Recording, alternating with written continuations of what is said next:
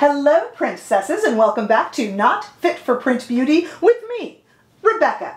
Today we are here to talk about the brand new Hourglass Curator eyeshadow series. We're going to talk about what it is. We're going to mention the prices because I can't help but talk about those, what they do, what their purpose and reason for being is. We're also going to do a little bit of a demo, and then at the very end I'm going to give you my thoughts, which I surprised myself with my final thoughts. And not exactly what I had assumed, I would say. I'll let you watch to get to that. Okay, so the Hourglass Curator collection is not new, but the Cur Curator eyeshadow collection. Part of the Curator collection is new. The eyeshadows are new.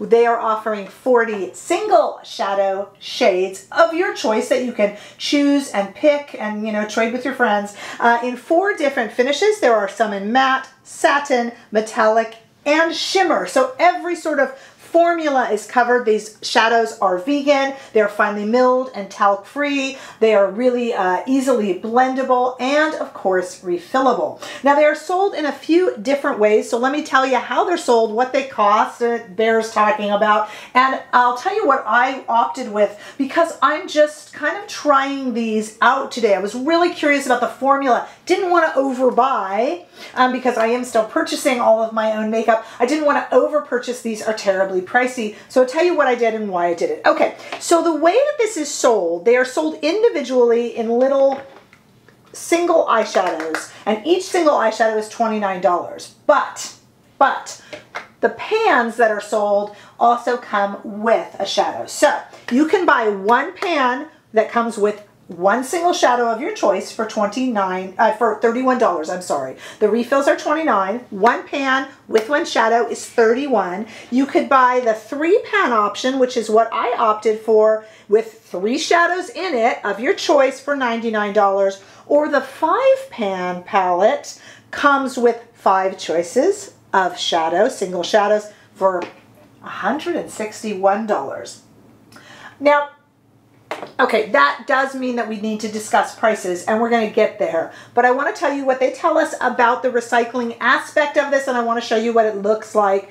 They're saying that these are um, tin and PCR and plastic free or and, and what you save when you purchase it. So if you buy the one pan palette refillable, they're saying you save yourself personally one plastic bottle from being used. If you buy the three pan palette like I did, apparently I have saved the lives of uh, two and a half plastic bottles floating in the ocean or in the trash dumps. And if you buy the five pan, then you have saved five plastic bottles from a landfill somewhere.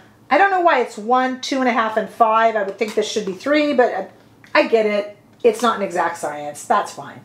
Okay, so I don't know. Um, sometimes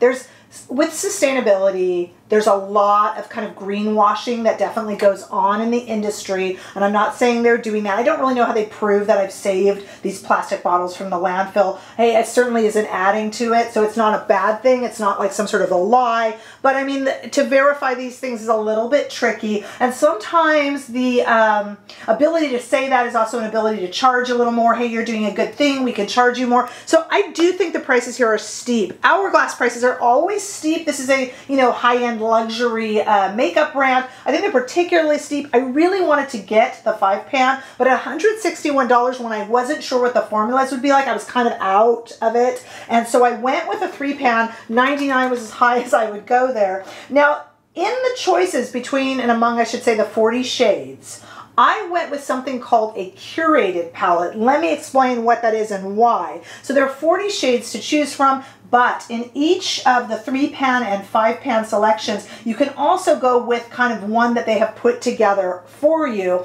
uh, which is actually what I did. I went with the Champagne Bronze Trio, which was a suggestion, a curated suggestion from Hourglass. The reason I did that actually goes back to an interview I once did in my day job with Mark Smith, uh, who's a shoe designer at Nike. You'd know him from uh, most of your shoe designs at Nike and from all the Air Jordan stuff. He's the designer there. He and I, uh, we were conducting an interview for a trade magazine I write for, and we started talking about Nike ID, which is that system online. I'm getting to a point here, just stay with me. That system online where you can choose and make your own colors and selection of sneakers he and I just got to chatting. He's a lovely person, and I explained to him that when I had done things like this, make your own sneaker, when it arrived, I was never satisfied with it. And I said, I, I don't like the one where I put my own together. I want you, you're the designer, you do it. He kind of laughed and acknowledged that this is kind of an issue. And he said what they were doing is kind of pre-curating uh, certain patterns and, and limiting the choices that the consumer can make so that they were happier with the end product it is true, and I, I kind of agree with him there. It is true if you are uh, a designer of any sort or a makeup artist, you could put together an amazing palette on your own. Although I will tell you that the makeup artists that I have interviewed and worked with generally do their magnetic palettes um, by all uh, earth tones, all shimmers, all bright colors, all editorial brights, all etc. Kind of like a uh, Viseart type palette would be put together, the older Viseart palettes.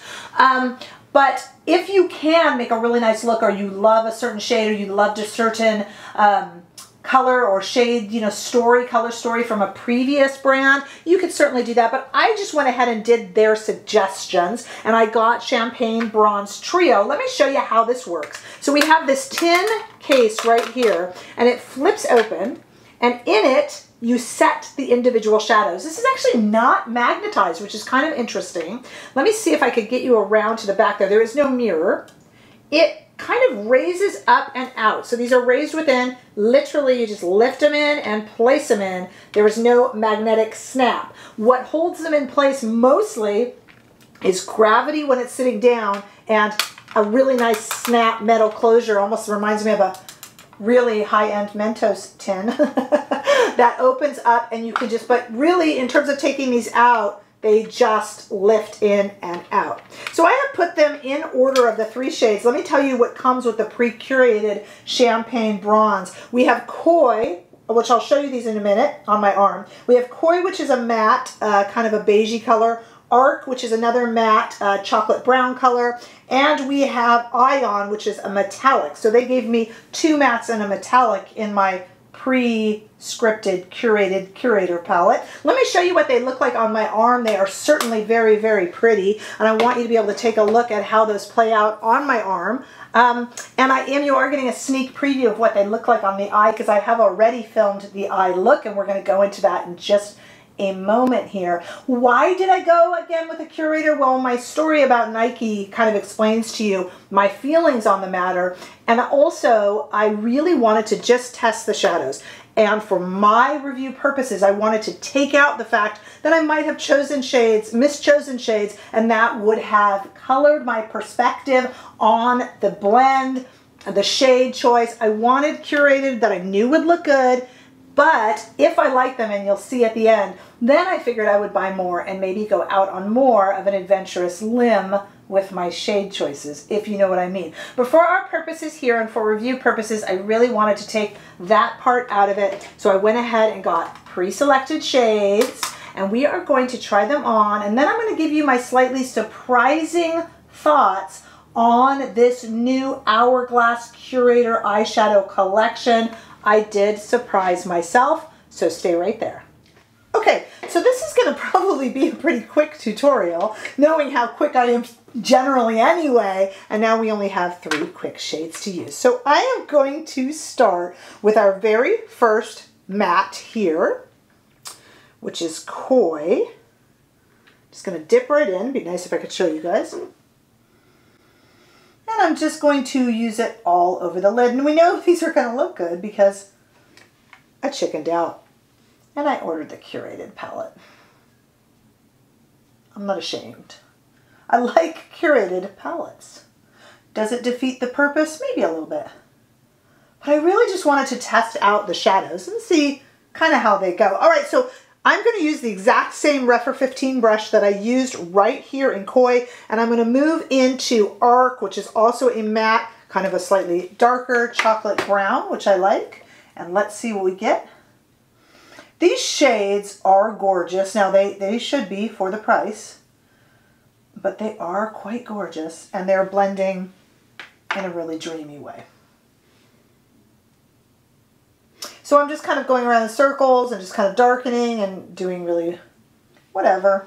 Just kind of fixing it up a little bit. I'm going to take this Rephr number 16 here that's nice and clean and just kind of blend a little bit more. That's a little bit of a 90s look to really blend like that, but with those kind of grungy browns, that 90s look kind of works. Going back and forth there. Okay, and now I'm just going to stick my finger into the metallic shade, which is uh, Ion right there, and just put it in the center.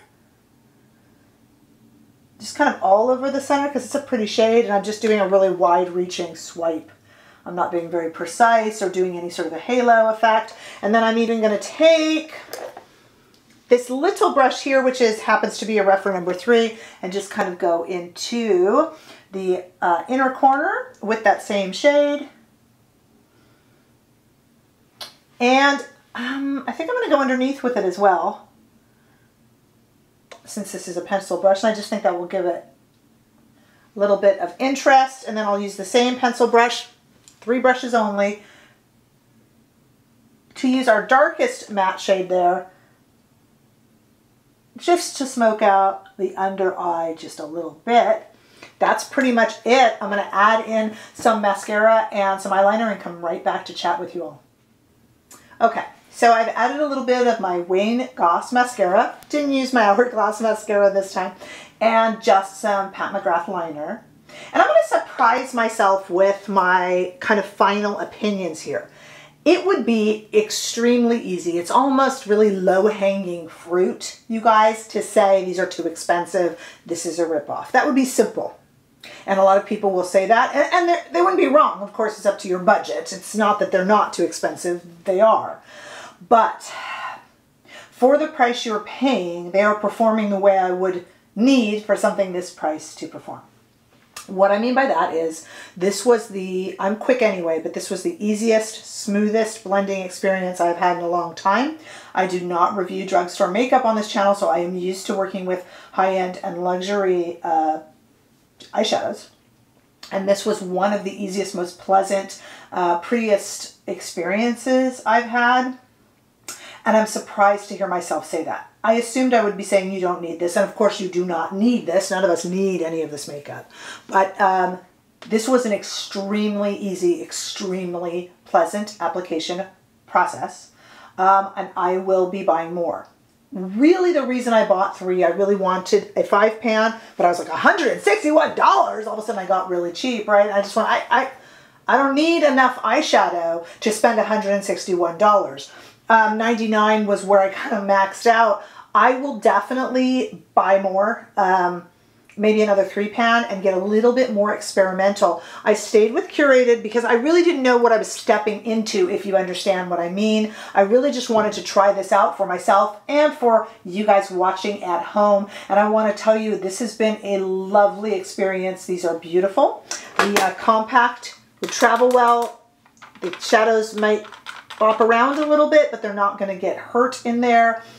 Um, this is, I use the curated shadow shades, of course, but they are absolutely beautiful. I am quite pleased with the eye look I achieved and the ease of use. You, and only you, and only your checking and bank and credit card accounts will know whether or not it is something that you would like to shell out for. But I will assure you that if you do, you will not be disappointed by the formula, the ease of use, and the shades. This is absolutely beautiful, and personally, I will be getting more. I'm kind of excited about these actually, and this is pretty much the opposite of what I had sort of semi-planned or assumed, I would say, at the end of this review. So I'm turning the tables a little bit. But I would love to know your thoughts, um, keeping in mind that this is a high-end luxury makeup. So there is a price to pay. Is it too expensive even for that? Or as I'm finding, might this just be worth it? I don't know. And of course, it's up to your spending limits, of course. I'm not monitoring your own checking account. So do let me know. Leave your comments below.